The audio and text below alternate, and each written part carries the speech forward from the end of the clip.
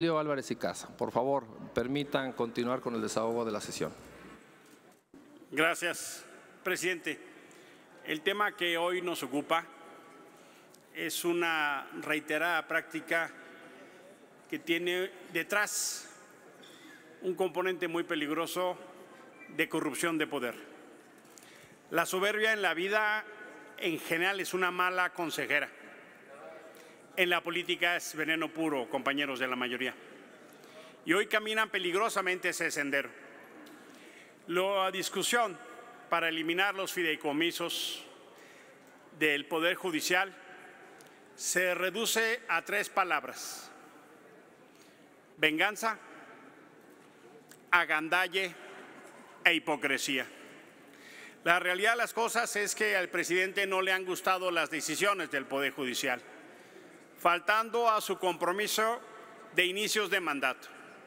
El presidente se comprometió a respetar la división de poderes, pero cuando empezaron a tomar decisiones que no le gustó, instrumentó un ataque que no solo es eliminar los fideicomisos, ha atacado a la ministra Presidente esencialmente con violencia política de género hay cuatro ministros amenazados de juicio político por Morena en la Cámara de Diputados. Más de 30 jueces han sido atacados en las mañaneras porque no han gustado sus decisiones y ahora e, extinguir los fideicomisos. Es una gandalle porque están robando dinero de los trabajadores que quincena con quincena han ido construyendo. Y también es una hipocresía. Es una hipocresía porque el Poder Ejecutivo tiene fideicomisos. Tiene fideicomisos incluso para garantizar prestaciones laborales de trabajadores, por ejemplo, en la banca de desarrollo, en trabajadores de la SEP, de Pemex, de fondos generales para trabajadores del servicio del Estado.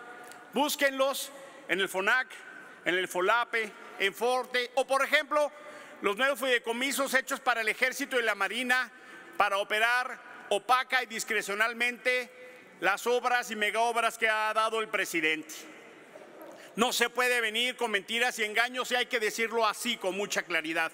Porque el Poder Ejecutivo sí puede tener fideicomisos y el Poder Judicial no, que además está absolutamente legal establecido en la Ley Federal de Presupuesto y Responsabilidades Hacendarias. Ahí está claramente el marco.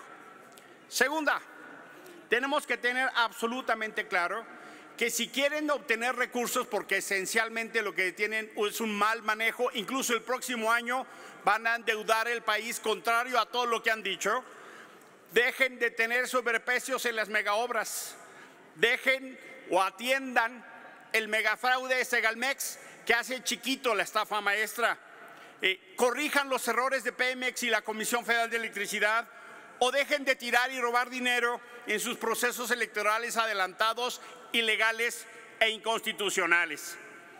Atendamos lo que dice la Ley Federal de Presupuesto y Responsabilidad Hacendaria.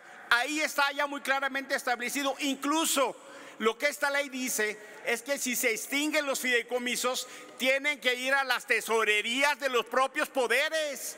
La ley y la constitución establecen la utilidad y el servicio público de los fideicomisos para el Poder Ejecutivo, el Legislativo y el Judicial. Quieren extinguir estos fideicomisos, regresan a las tesorerías de los poderes autónomos. Lo que está aquí en juego es la autonomía la independencia del Poder Judicial. Eso es lo que se está jugando.